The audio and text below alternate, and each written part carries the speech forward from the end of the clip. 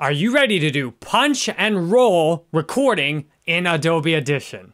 You will find that punch and roll recording is really helpful for you if you need to get your audio exactly right, if you consistently make mistakes, and you want to very easily go back, punch in right before you made the mistake, and then keep recording or rolling all the way through the take. Let's show you exactly how to do punch and record, punch and roll recording now. There's if you go to the recording, you right click, you've got the option to do instant record mode, punch and roll mode, or timed record mode. Instant record mode, as soon as you click the button, it will immediately start recording wherever you're at. This is nice. And we'll do an example now. I hit up space and it just starts recording right where I'm at. Let's pretend I just said something really stupid or off the script and I need to go back and fix it if I go to instant record mode here and I click on instant record, it'll just immediately start recording right over what I already did.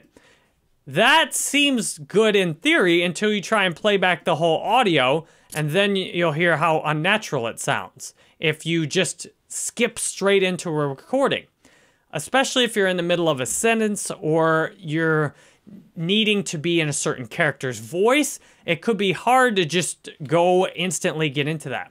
Punch and roll recording allows you to talk through with, follow along with what you already did correctly and jump right back in. Whereas with instant recording, if you try and go back further, for example, let's say I messed up right here. Let's say I messed up on the far end of this if I needed to be a character or sound just right, the, the last big silence I have is right here. If I did an instant record, it would record over all of this also. And if I did that correctly, I don't want to record over that because I might mess that up and then I'd need to do all of that again. With punch and roll recording, you can just come into the exact spot you want to drop in and you can narrate along with it. It gives you some time to play back what you previously did. Let's pretend I want to record straight in here and punch in and record over this. But in order to do that, I want to narrate along with what I said before and then just start recording exactly where I need to do it better. If I hit the punch and roll record, which I select over here with right click, pick punch and roll mode, it'll go back and play the audio like this. Space, and it just starts recording right where I'm at. Now I have the chance to come in and say the audio just perfectly. You notice I spiked the audio a lot there. With punch and roll record mode, if you mess up the take and you're not happy with it, you just hit it again. Space, and it just starts recording right where I'm at. Now for this take, I'm definitely going to do it right and I'm not going to come in super loud and we're going to give a lot better recording experience. Now you noticed it actually stopped recording if you just select it like that, which is not ideal because you want to keep rolling. What we're going to do then is you can actually delete all of this and just hit punch in right where you want to do it. If you know that was a bad take and you want to just keep recording indefinitely after that, just click punch and roll. Space, and it just starts recording right where I'm at. Now I get to keep talking and there. I don't like how loud it got right there. Wow, that's way too loud. Just delete that again. Space, punch and roll again. And it just it starts just recording right, right where, where I'm at. at. The beautiful part about this is you're ready to keep going and make a successful audio recording without having to stop your workflow and do a full editing job. You can just jump right back to wherever you messed up, punch in, and keep going there, and it doesn't disrupt your workflow a lot.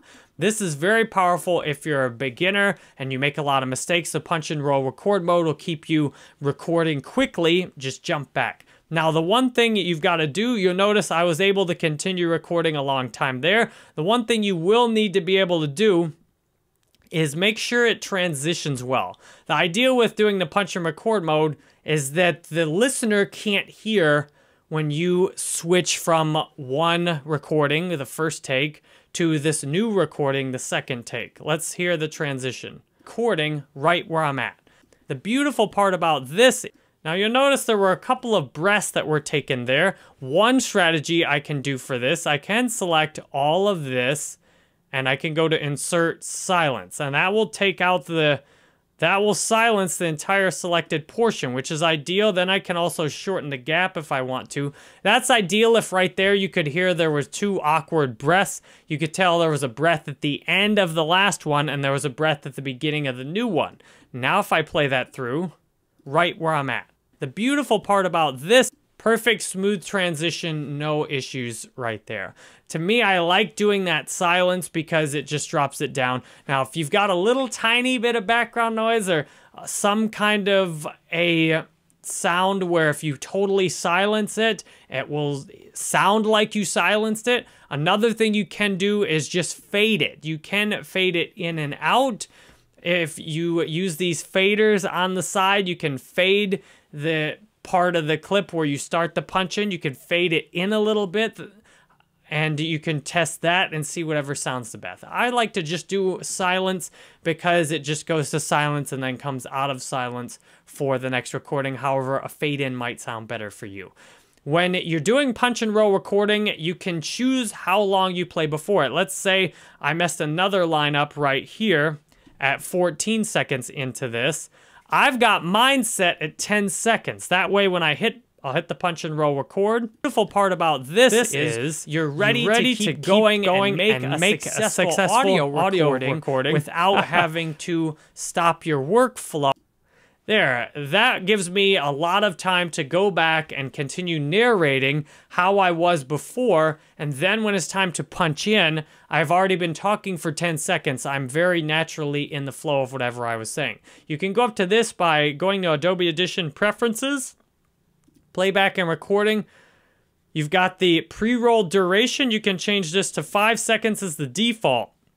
If you do 5 oh. seconds It'll punch in, it'll go back, audio recording, five without seconds. having to, you see how it went back five seconds from whenever I'm going to punch in? If you want longer than that, you can go to preferences, playback and recording, and you can do 10 seconds. However long you need, you'll be able to just set that so that if you want to be able to punch in at a certain time afterwards. For example, if you need 10 seconds to get yourself in sync and reading the script and then be most natural as soon as it starts recording, you can do that. If the beautiful part about click on this the record button, you're ready to keep going and make a successful audio record you can totally select that. And if you don't have 10 seconds to go back, it'll just go back to all the way to the beginning. For example, if I set this right here and I click punch in space, and it, you'll notice it's four seconds. It just goes back to the beginning.